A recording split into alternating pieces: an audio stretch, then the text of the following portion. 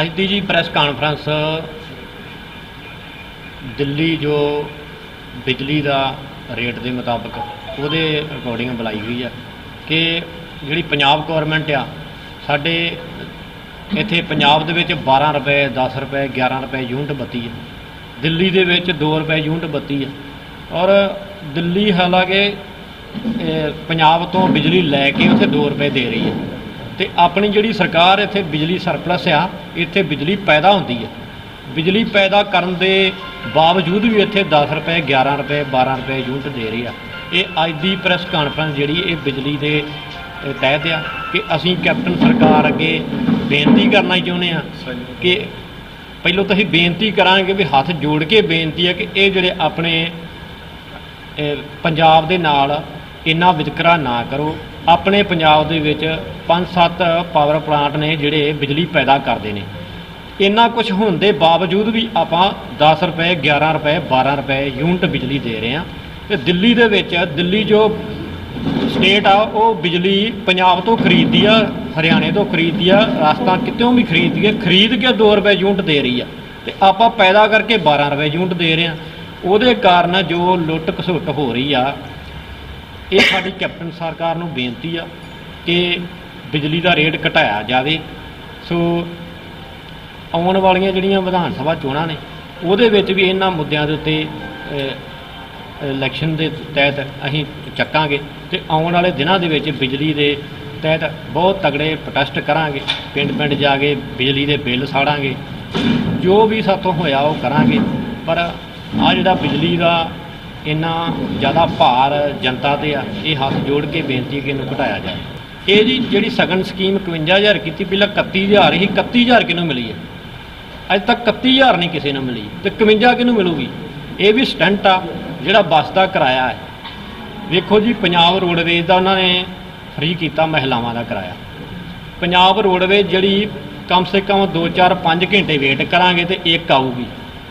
ਤੇ ਇੰਨਾ ਟਾਈਮ ਕਿਹਦੇ ਕੋਲ ਹੈਗਾ ਕਿ 5-5 ਘੰਟੇ ਵੇਟ ਕਰਕੇ ਇੱਕ ਰੋਡਵੇਜ਼ ਬੱਸ ਨੂੰ ਡਿੱਕੀ ਉਹ 10-20 ਰੁਪਏ ਆਪਦਾ ਕਿਰਾਇਆ, ਇੰਨਾ ਟਾਈਮ ਕਿਸੇ ਕੋਲ ਨਹੀਂ ਹੈਗਾ। ਜੇ ਕਿਰਾਇਆ ਮਾਫ ਕਰਨਾ ਹੈ ਤੇ ਆਲ ਬੱਸ ਦਾ ਕਰਨਾ, ਕਿ ਜਿਹੜੀ ਬੱਸ ਤੇ ਮਹਿਲਾਵਾਂ ਬਹਿਣ, ਉਹਦਾ ਕਿਰਾਇਆ ਮਾਫ ਆ। ਇਹ ਸਟੈਂਟ ਆ ਜੀ। ਕੋਈ ਕਿਰਾਇਆ ਨਹੀਂ ਮਾਫ ਹੈਗਾ, ਨਾ ਕਿਸੇ ਨੇ ਕਰਨਾ, ਨਾ ਹੋਣਾ। ਸਾਡੇ ਵੱਲੋਂ ਸਹੂਲਤਾਂ ਜੀ ਵੇਖੋ, ਬਿਜਲੀ ਉੱਥੇ 2 ਰੁਪਏ ਯੂਨਿਟ ਦੇ ਰਹੇ ਅਸੀਂ। 200 ਯੂਨਿਟ ਤੋਂ ਬਾਅਦ 200 ਯੂਨਿਟ ਹਰੇਕ ਵਰਗ ਦੀ ਮਾਫ ਆ ਚਾਹੇ ਉਹ ਸਾਡੇ ਐਸਸੀ ਭਰਾ ਚਾਹੇ ਬੀਸੀ ਭਰਾ ਚਾਹੇ ਜਰਨਲ ਕੈਟਾਗਰੀ ਕਿਸੇ ਵੀ ਕੈਟਾਗਰੀ ਨਾਲ ਸੰਬੰਧਿਤ ਨੇ ਉਹਨਾਂ ਦੀ ਹਰੇਕ ਦੀ 200 ਯੂਨਿਟ ਬਿਜਲੀ ਮਾਫ ਆ ਔਰ 200 ਯੂਨਿਟ ਤੋਂ ਬਾਅਦ ਜੋ ਰੇਟ ਆ ਉਹ 2 ਰੁਪਏ ਯੂਨਿਟ ਲੱਗਦਾ ਚਾਹੇ ਉਹ ਅ, ਸ- 300 ਯੂਨਿਟ ਬਲ ਜੇ ਚਾਹੇ 400 ਯੂਨਿਟ ਬਲ ਜੇ ਚਾਹੇ 500 ਯੂਨਿਟ ਬਲ ਜੇ। ਤੋ ਸਾਡਾ ਇੱਥੇ ਪੰਜਾਬ ਦੇ ਵਿੱਚ ਵੀ ਇਹੀ ਹੋਊਗਾ ਹਰੇਕ ਵਰਗ ਦੀ 200 ਯੂਨਿਟ ਬਿਜਲੀ ਮਾਫ ਹੋਊਗੀ ਉਸ ਤੋਂ ਬਾਅਦ ਜੋ ਸਾਡੀ ਹਾਈ ਕਮਾਂਡ ਨਿਰਣੇ ਲਊਗੀ 2 ਰੁਪਏ ਯੂਨਿਟ 3 ਰੁਪਏ ਜੋ ਵੀ ਕਰੇਗੀ ਉਸ ਤੇ ਹੋਊਗਾ। ਪਰ ਪੰਜਾਬ ਦੇ ਇਸ ਵਕਤ ਜੋ ਚੱਲ ਰਿਹਾ ਇਹਨਾਂ ਨਾਲੋਂ ਘੱਟ ਹੋਊਗਾ। ਇਹ ਕੁਝ ਟਾਈਮ ਥੋੜਾ 1-2 ਮਹੀਨੇ ਦੇ ਵਿੱਚ ਸਾਹਮਣੇ ਆ ਜਾਏਗਾ। ਇਹ ਤਾਂ ਪਾਰਟੀ ਹਾਈ ਕਮਾਂਡ ਨੇ ਡਿਸਾਈਡ ਕਰਨਾ ਕਿ ਕਿਹੜਾ ਸੀਐਮ ਦਾ ਚਿਹਰਾ। ਬਸ ਇਹ ਅ, ਕੁਛ ਹੀ ਟਾਈਮ ਦੇ ਵਿੱਚ ਆ ਜਾਏਗਾ। ਨਹੀਂ ਜੀ ਇਸ ਵਾਰ ਕੋਈ ਵਿਰੋਧ ਨਹੀਂ ਹੈਗਾ ਕਿਸੇ ਵੀ ਹਲਕੇ ਦੇ ਵਿੱਚ। ਚਲੋ ਹਰ ਕੋਈ ਭੈਣ ਭਰਾ ਕਹਿੰਦਾ ਕਿ ਮੈਨੂੰ ਟਿਕਟ ਮਿਲੇ ਮੈਨੂੰ ਟਿਕਟ ਮਿਲੇ। ਜੋ ਵੀ ਕਿਸੇ ਵੀ ਭਰਾ ਨੂੰ ਟਿਕਟ ਮਿਲੇਗੀ ਪਾਰਟੀ ਦੇਗੀ ਕਿਸੇ ਵੀ ਭਰਾ ਤੇ ਪਾਰਟੀ ਹੱਥ ਰੱਖੇਗੀ ਉਹ ਸਾਰੇ ਦੂਸਰੇ ਸਾਰੇ ਆਪਣੇ ਤਨ ਮਨ ਧਨ ਦੇ ਨਾਲ ਉਹਦੇ ਨਾਲ ਜੁੜ ਕੇ ਅਸੀਂ ਪਾਰਟੀ ਨੂੰ ਜਿਤਾਉਣਾ। ਤੁਹਾਡਾ ਮੁਕਾਬਲਾ ਕਿਸ ਨਾਲ ਕੀਤਾ ਤੁਸੀਂ? ਸਾਡਾ ਮੁਕਾਬਲਾ ਕਿਸੇ ਨਾਲ ਨਹੀਂ ਹੈਗਾ ਜੀ। ਤੁਸੀਂ ਵੀ ਇੱਥੇ ਅਹ, 24 ਘੰਟੇ ਪੱਤਰਕਾਰੀ ਕਰਦੇ ਜੇ ਤੁਸੀਂ ਇੱਕ ਦਿਨ ਦੇ ਵਿੱਚ 50 ਬੰਦਿਆਂ ਨੂੰ ਪੁੱਛ ਲਓ ਕਿ ਸਾਡਾ ਮੁਕਾਬਲਾ ਕਿਸੇ ਨਾਲ ਉਹ ਤੁਹਾਨੂੰ ਖੁਦ ਦੱਸ ਦੇਣਗੇ ਕਿ ਐਰਕੀ ਤੀਜੇ ਬੰਦੇ ਨੂੰ ਹੀ ਵੋਟ, ਤੀਜੀ ਧਿਰ ਨੂੰ ਹੀ ਵੋਟ ਪਾਉਣੀ ਆ, ਨਾ ਕਿ ਕਾਲੀ ਕਾਂਗਰਸ ਨੂੰ। ਆਉਣ ਜੀ ਆਇਆਂ ਨੂੰ ਅਸੀਂ ਕਿਸੇ ਨੂੰ ਇਹ ਥੋੜੀ ਕਹਿ ਸਕਦੇ ਕਿ ਨਾ ਆਵੇ। ਨਸ਼ਹਿਰਾ ਢਾਲਾ ਦੀ ਆਉਣ, ਹੋਰ ਵੀ ਜਿਸ ਕਿਸ ਨੇ ਆਉਣਾ, ਭਰਾ ਨੇ ਉਹ ਆਵੇ, ਆ ਕੇ ਸੇਵਾ ਕਰੇ, ਜੋ ਟਿਕਟ ਦੇਣੀ ਹਾਈ ਕਮਾਂਡ ਨੂੰ ਦੇਣੀ ਆ।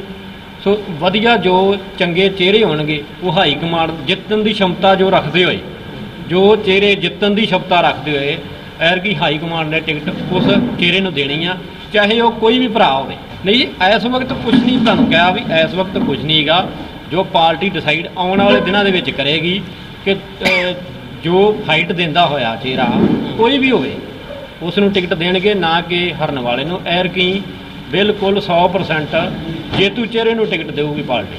ਜਿਹੜੀ ਅੱਜ ਦੀ ਪ੍ਰੈਸ ਕਾਨਫਰੰਸ ਕੀਤੀ ਜਾ ਰਹੀ ਹੈ। ਇਹ ਬਿਜਲੀ ਅੰਦੋਲਨ ਜਿਹੜਾ ਆਮ ਆਦਮੀ ਪਾਰਟੀ ਵੱਲੋਂ ਸ਼ੁਰੂ ਕੀਤਾ ਜਾ ਰਿਹਾ ਕਿਉਂਕਿ ਕੈਪਟਨ ਅਮਰਿੰਦਰ ਸਿੰਘ ਜਦੋਂ ਸਰਕਾਰ ਆਈ ਸੀ ਪੰਜਾਬ ਦੇ ਵਿੱਚ, ਤਾਂ ਉਹਨਾਂ ਨੇ ਵਾਅਦੇ ਕੀਤੇ ਸੀ, ਬੜੇ ਝੂਠੇ ਝੂਠੇ ਵਾਅਦੇ ਸੀ, ਸਾਰੇ ਹੀ ਅੱਜ ਤੱਕ ਤੁਹਾਡੇ ਸਾਹਮਣੇ ਨੇ ਕਿ ਅਸੀਂ ਬਿਜਲੀ ਸਸਤੀ ਕਰਾਂਗੇ। ਜਿਹੜੀ ਕਿ ਸਸਤੀ ਨਹੀਂ, ਵਾਰ-ਵਾਰ ਮਹਿੰਗੀ ਹੁੰਦੀ ਗਈ ਹੈ। ਔਰ ਉਸ ਦੇ ਵਜੋਂ ਹੁਣ ਇਹਨਾਂ ਦਾ ਆਖਰੀ ਸਾਲ ਹੈ ਕੈਪਟਨ ਅਮਰਿੰਦਰ ਸਿੰਘ ਦਾ। ਔਰ ਆਖਰੀ ਸਾਲ ਦੇ ਵਿੱਚ ਆਮ ਆਦਮੀ ਪਾਰਟੀ ਵੱਲੋਂ ਵਾਰ-ਵਾਰ ਇਹ ਹਲੂਣਾ ਦਿੱਤਾ ਗਿਆ ਸੀ। ਪਹਿਲਾਂ ਵੀ ਬਿਜਲੀ ਅੰਦੋਲਨ ਸ਼ੁਰੂ ਕੀਤਾ ਸੀ ਕਿ ਬਿਜਲੀ ਦੇ ਬਿੱਲ ਘੱਟ ਕੀਤੇ ਜਾਣ, ਪਰ ਉਦੋਂ ਵੀ ਇਹਨਾਂ ਨੇ ਕੋਈ ਆਵਾਜ਼ ਨਹੀਂ ਸੁਣੀ। ਪਰ ਹੁਣ ਜਿਹੜਾ ਹੈ, ਅਸੀਂ ਬਿਜਲੀ ਅੰਦੋਲਨ ਫੇਰ ਤੋਂ ਬੜੇ ਵੱਡੇ ਹੁਲਾਰੇ ਇਹਨਾਂ ਨੂੰ ਚੈਲੰਜ ਕਰਕੇ ਸ਼ੁਰੂ ਕਰਨ ਲੱਗੇ ਆ ਕੈਪਟਨ ਅਮਰਿ- ਅਮਰਿੰਦਰ ਸਿੰਘ ਨੂੰ ਸਾਡੇ ਵੱਲੋਂ ਚੈਲੰਜ ਆ ਕਿ ਬਿਜਲੀ ਦੇ ਜਿਹੜੇ ਵਾਅਦੇ ਕੀਤੇ ਨੇ, ਉਹ ਪੂਰੇ ਕੀਤੇ ਜਾਣ। ਬਿਜਲੀ ਸਸਤੀ ਕੀਤੀ ਜਾਵੇ, ਜਿਹੜੀ 200 ਯੂਨਿਟ ਉਹ ਫ੍ਰੀ ਕੀਤੀ ਜਾਵੇ। ਔਰ ਜੇ ਨਹੀਂ ਕਰਦੇ, ਤੇ ਅਸੀਂ 5-7 ਦਿਨ ਦੇ ਤੱਕ ਹਰ ਪਿੰਡ-ਪਿੰਡ ਦੇ ਵਿੱਚ ਮੁਹਿੰਮ ਚਲਾਵਾਂਗੇ, ਬਿਜਲੀ ਦੇ ਬਿੱਲ ਸਾੜਾਂਗੇ, ਤਾਂ ਜੋ ਕਿ ਕੈਪਟਨ ਅਮਰਿੰਦਰ ਸਿੰਘ ਦੀ ਜਿਹੜੀ ਨੀਂਦ ਹੈ, ਉਹਨੂੰ ਅਸੀਂ ਖਰਾਬ ਕਰ ਸਕੀਏ ਕਿ ਉਹ ਸਾਡੇ ਜਿੰਨੇ ਵੀ ਪੰਜਾਬ ਨਾਲ ਵਾਅਦੇ ਕਰਕੇ ਸਰਕਾਰ ਬਣਾਈ ਹੈ, ਉਹ ਸਾਰੇ ਦੇ ਸਾਰੇ ਵਾਅਦੇ ਪੂਰੇ ਕਰੇ। ਜਦੋਂ ਕਿ ਜਿਵੇਂ ਵੀਰ ਨੇ ਹੁਣੇ ਪੁੱਛਿਆ ਸੀ ਨੌਕਰੀਆਂ ਬਾਰੇ ਪਰ ਸਾਡੇ ਅਰਵਿੰਦ ਕੇਜਰੀਵਾਲ ਜੀ ਨੇ ਬਾਘਾ ਪੁਰਾਣਾ ਆਏ ਸੀ ਔਰ ਉਹਨਾਂ ਨੇ ਕਿਹਾ ਸੀ ਚੇਚਾ ਕਿ ਜਿਨ੍ਹਾਂ ਨੂੰ ਵਾਅਦੇ ਕਰਕੇ ਇਹਨਾਂ ਨੇ ਕਾਰਡ ਦਿੱਤਾ ਸੀ ਨੌਜਵਾਨ ਨੂੰ ਘਰ ਘਰ ਦੇ ਵਿੱਚ ਨੌਕਰੀ ਦਾ, ਉਹ ਕਾਰਡ ਕੈਪਟਨ ਅਮਰਿੰਦਰ ਸਿੰਘ ਨੇ ਸਿਰਫ ਵੋਟਾਂ ਲੈਣ ਦੇ ਲਈ ਵਰਤਿਆ ਸੀ ਔਰ ਆਮ ਆਦਮੀ ਪਾਰਟੀ ਵੱਲੋਂ ਸਰਕਾਰ ਆਉਣ ਤੇ ਉਹਨਾਂ ਸਾਰੇ ਨੌਜਵਾਨਾਂ ਨੂੰ, ਜਿਨ੍ਹਾਂ ਨੂੰ ਕਾਰਡ ਜਿਹੜੇ ਕਾਂਗਰਸ ਨੇ ਦਿੱਤੇ ਸੀ, ਉਹਨਾਂ ਨੂੰ ਨੌਕਰੀਆਂ ਵੀ ਦੇਵਾਂਗੇ ਪਲੱਸ ਕਿਹਾ ਸੀ ਕਿ ਜੇ ਨੌਕਰੀ ਨਾ ਮਿਲੇਗੀ ਤੇ ਉਸ ਨੂੰ ਭੱਤਾ ਮਿਲੇਗਾ, ਬੇਰੁਜ਼ਗਾਰੀ ਭੱਤਾ 2500 ਰੁਪਈਆ, ਸੋ ਉਹ 2500 ਰੁਪਈਆ ਬੇਰੁਜ਼ਗਾਰੀ ਭੱਤਾ ਵੀ ਦੇਵਾਂਗੇ। ਦੇਖੋ ਜੀ, ਪੰਜਾਬ ਦਾ ਬਿਜਲੀ ਅੰਦੋਲਨ ਦੇ ਉੱਤੇ ਅੱਜ ਇਹ ਪ੍ਰੈਸ ਕਾਨਫਰੰਸ ਹੋ ਰਹੀ ਆ, ਜੋ ਕਿ ਪੰਜਾਬ ਦਾ ਹਰ ਵਰਗ ਇਸ ਤੋਂ ਦੁਖੀ ਆ। ਇੰਨਾ ਤਸੱਦਦ ਆ ਵੀ ਬਿਜਲੀ ਦੇ ਬਿੱਲ ਲੋਕ ਆਪਣੀਆਂ ਵਾਲੀਆਂ ਗਹਿਣ- ਗਹਿਣੇ ਪਾ ਕੇ ਮਤਲਬ ਕਿਸੇ ਨਾ ਕਿਸੇ ਚੀਜ਼ ਨੂੰ ਵੇਚ ਕੇ ਤਾਰ ਰਹੇ ਨੇ। ਬਹੁਤੇ ਲੋਕ ਤੇ ਵਿਆਜੀ ਚੁੱਕ ਕੇ ਤਾਰ ਰਹੇ, ਬੜੇ ਮਾੜੇ ਹਾਲਾਤ ਨੇ। ਇਹ ਨਹੀਂ ਹੋਣੇ ਚਾਹੀਦੇ। ਇਹਦੇ ਇਹਦੇ ਵਿਰੋਧ ਦੇ ਵਿੱਚ ਅਸੀਂ ਬਿਜਲੀ ਅੰਦੋਲਨ ਕਰਨ ਜਾ ਰਹੇ ਹਾਂ। ਆਮ ਆਦਮੀ ਪਾਰਟੀ ਸਰਕਾਰ ਆਉਣ ਤੇ ਕੀ ਕੀਤਾ ਜਾਊਗਾ ਆਮ ਲੋਕਾਂ ਵਾਸਤੇ? ਆਮ ਲੋਕਾਂ ਵਾਸਤੇ ਜੀ ਦੇਖੋ ਬਿਜਲੀ ਜਿਹੜੀ ਆ ਉਹ ਅ, 200 ਯੂਨਿਟ ਤੇ ਬਿਲਕੁਲ ਫ੍ਰੀ ਹੋਏਗੀ ਹਰ ਵਰਗ ਲਈ। ਤੇ ਉਸ ਦੇ ਨਾਲ ਨਾਲ ਜੋ ਪੜ੍ਹਾਈ ਦਾ ਖੇਤਰ ਆ ਉਸ ਦੇ ਉੱਤੇ ਬਹੁਤ ਵੱਡੇ ਸਕੇਲ ਤੇ ਕੰਮ ਹੋਏਗਾ। ਹਸਪੀਟਲਾਂ ਦੇ ਉੱਤੇ ਬੜਾ ਜ਼ਬਰਦਸਤ ਕੰਮ ਹੋਏਗਾ। ਦੇਖੋ ਜੀ ਜੇ ਨੀ- ਨੀਅਤ ਤੁਹਾਡੀ ਸਾਫ਼ ਹੋਵੇ ਨਾ ਤੇ ਹਰ ਕੰਮ ਹੋ ਸਕਦਾ। ਬੜੇ ਸੰਕਲਪ ਨੇ ਹਰ ਖੇਤਰ ਦੇ ਵਿੱਚ ਵਿਕਲਪ ਬਹੁਤ ਨੇ। ਤੁਸੀਂ ਜਦੋਂ ਇਸ ਲਾਈਨ ਦੇ ਵਿੱਚ ਤੁਰੋਗੇ ਤਾਂ ਤੁਹਾਨੂੰ ਹਰ ਤਰ੍ਹਾਂ ਦਾ ਉਹ ਸ- ਸ- ਮਿਲੂਗਾ, ਜਿੱਦਾਂ ਦੇ ਤੁਹਾਡੇ ਜਿਹੜੇ ਹੁੰਦੇ ਆ ਸੁਝਾਅ- ਸ- ਸਲਾਹਕਾਰ ਪੰ- ਸਰਕਾਰਾਂ ਦੇ। ਉਹਨਾਂ ਦੀ ਇਸ ਟਾਈਮ ਵੱਧ ਨੀਤੀ ਹੈ, ਕਿਉਂਕਿ ਉਹਨਾਂ ਦੀ ਉਹਨਾਂ ਦੀ ਹੈੱਡ ਆਫ ਡਿਪਾਰਟਮੈਂਟ ਜਿਹੜੇ ਕੈਪਟਨ ਸਾਹਿਬ ਹੈ ਜਾਂ ਪੰਜਾਬ ਸਰਕਾਰ ਆ, ਉਹ ਬੇਈਮਾਨ ਆ। ਜਦੋਂ ਇਮਾਨਦਾਰਾਂ ਦਾ ਸਿਸਟਮ ਚੱਲ ਪਿਆ ਤੇ ਉਹ ਸਾਰਾ ਕੁਝ ਹੀ ਉਸ ਬੇਸ ਤੇ ਚੱਲ ਪਏਗਾ।